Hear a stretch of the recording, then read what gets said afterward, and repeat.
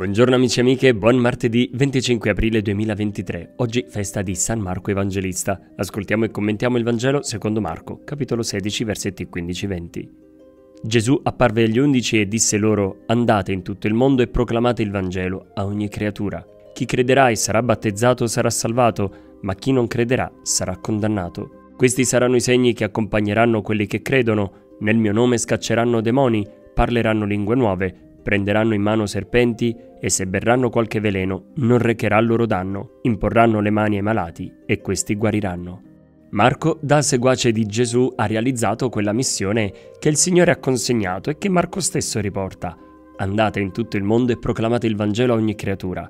Chi crederà e sarà battezzato sarà salvato. Questo Vangelo, oltre a rientrare nei Vangeli canonici detti ispirati, è stato tradotto in quasi tutte le lingue fino a noi oggi. È curioso che la Bibbia sia il testo ancora più venduto e stampato al mondo, ma siamo sicuri che questo basti per dire che tutti hanno sentito parlare di Gesù e che tutti sono battezzati? Mai darlo per scontato, nemmeno nelle nostre famiglie. Ancora oggi molti non sono battezzati e non conoscono Gesù. Anche tra i moderni cristiani si diffonde la diabolica usanza di non battezzare più i bambini. Quale salvezza potranno avere questi se moriranno senza aver potuto conoscere Gesù e senza poter sperare nella vita eterna che il Signore ha promesso per chi crederà in Lui?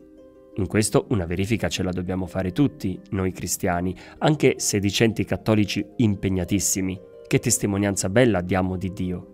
In cosa stiamo sbagliando se qualcuno sceglie di non credere in Gesù e di interrompere la trasmissione della fede? E tu come ti stai impegnando a trasmettere la fede? Buona giornata a tutti.